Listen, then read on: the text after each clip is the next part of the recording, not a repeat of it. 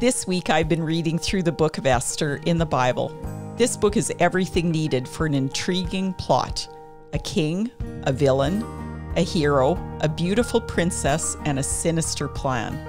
It also feels close to our current time. Israel is once again in the forefront of the news.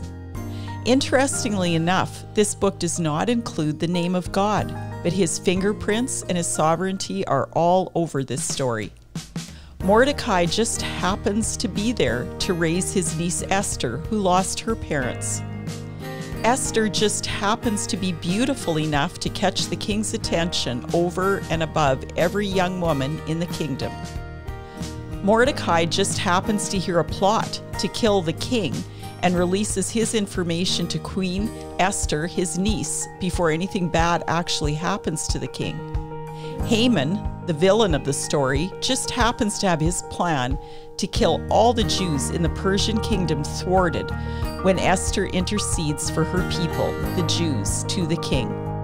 The gallows that Haman meant for Mordecai just happened to be used for him when his evil plan is found out, and instead, Mordecai is honored.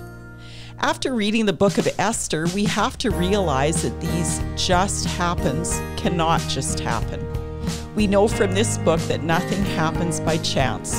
When Esther's feeling scared about revealing her identity to the king and approaching him without permission, Mordecai says this to her Do not think to yourself that in the king's palace you will escape any more than all the other Jews. For if you keep silent at this time, relief and deliverance will rise for the Jews from another place, but you and your father's house will perish.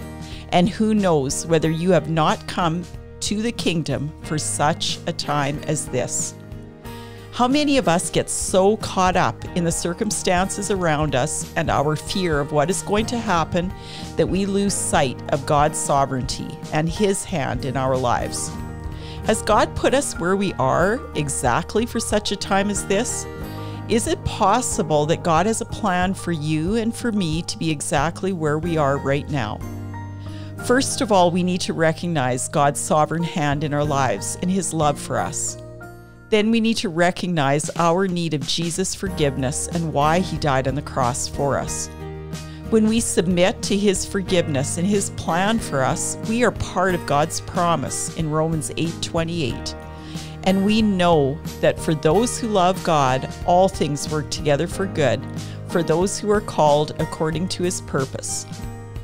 The working out of God's plan is not always easy and not always exactly what we might choose. But if we are putting our trust in God and following Him, his plan is the right one, and He will lead us through it. Esther also showed us another important element in recognizing God's sovereignty or His hand in her life by asking Mordecai to gather people together to fast for her for three days before she acted. It is easy to walk through life with our own agenda and plans.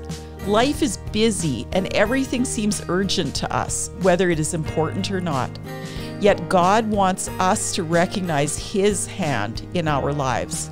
He wants us to come to Him in prayer, asking for wisdom and asking for direction, and then waiting for an answer. Life is not just a jumble of random events and just happens. God actually has a plan for us in such a time as this.